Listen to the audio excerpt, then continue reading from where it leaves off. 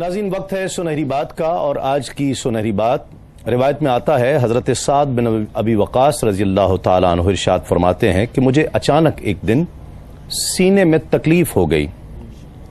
میں رسول اللہ صلی اللہ علیہ وآلہ وسلم کے پاس مجھے لوگ لے گئے۔ آپ صلی اللہ علیہ وآلہ وسلم نے مجھے دیکھتے ہی اپنا دست مبارک میرے میرے کاندھے کے درمیان رکھا۔ تو مجھے ایک دم ٹھنڈک سی محسوس ہوئی۔ اور پھر میرے سینے کی درد گریجولی بتدریج کم ہونے لگی۔ عقل سلاۃ السلام نے صحابہ کرام کو حکم فرمایا کہ اسے فلاں متب میں لے جاؤ اور ان کو کہنا کہ مدینے کی سات اجوا کھجوریں۔ سات اجوا کھجوریں لے کر انہیں گھٹلیوں سمیت کوٹ کر پیس لے اور اسے کھلائے۔ اللہ رب العزت شفا عطا فرمائے گا۔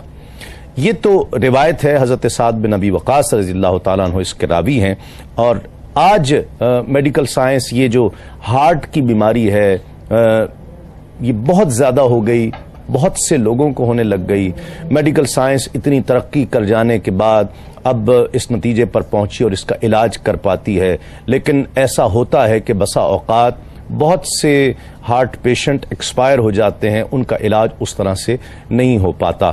بہت سارے طریقے علاج کے تجویز کر لیے گئے، ایجاد کر لیے گئے، دریافت کر لیے گئے۔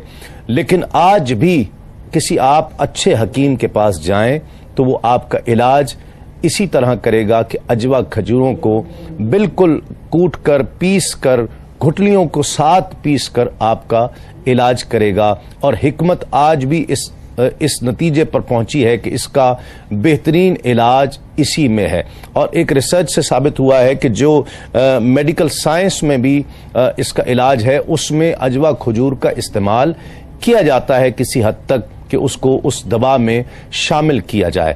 سائنس ہمیں یہ بات آج بتا رہی ہے۔ میرے آقا نے ہمیں یہ بات آج سے چودہ سو سال پہلے بتا دی تھی۔ کیا بات ہے؟ سرکار دو عالم صلی اللہ علیہ وآلہ وسلم کی۔ کہ پھیلائے ہوئے گوشہ دامان تجسس پھیلائے ہوئے گوشہ دامان تجسس سائنس محمد کا پتہ پوچھ رہی ہے۔